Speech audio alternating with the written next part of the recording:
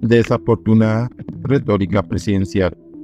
Columna de Germán Alfonso López Daza para La Nación. Una característica del presidente Petro no es precisamente la prudencia.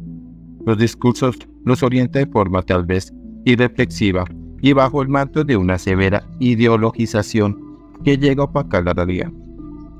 En varias de sus intervenciones, tal vez improvisadas, ha realizado afirmaciones que no son ciertas, pero que para la masa de sus seguidores se convierten en la verdad revelada, lo cual puede ahondar la polarización ya existente.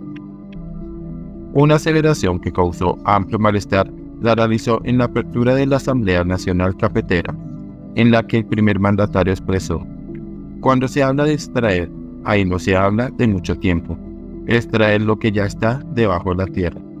Llámese carbón, llámese petróleo, llámese oro, llámese níquel. Para extraer prácticamente no se necesita ni el cerebro. Una palanca y un tubo, y otro tubo adapta el petróleo y llega al barco que adiós.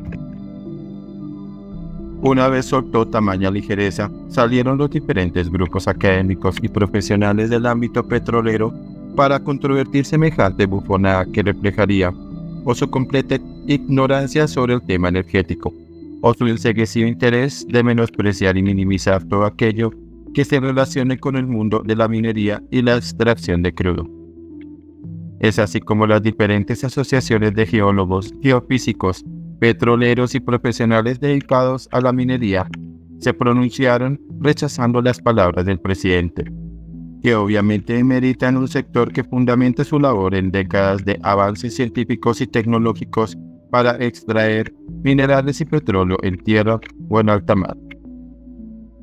El presidente puede tener reparos muy cálidos sobre el impacto ambiental que indudablemente han ocasionado los hidrocarburos y que evidentemente son una de las causas del cambio climático que estamos por estos días sufriendo con las altas temperaturas y la sequía que vive todo el país. Pero de allí a realizar afirmaciones de tal calibre es inadmisible. Un verdadero jefe de Estado no debe enseguecerse con dogmatismos, sino más bien estar dispuesto a armonizar el conocimiento técnico con el desarrollo sostenible.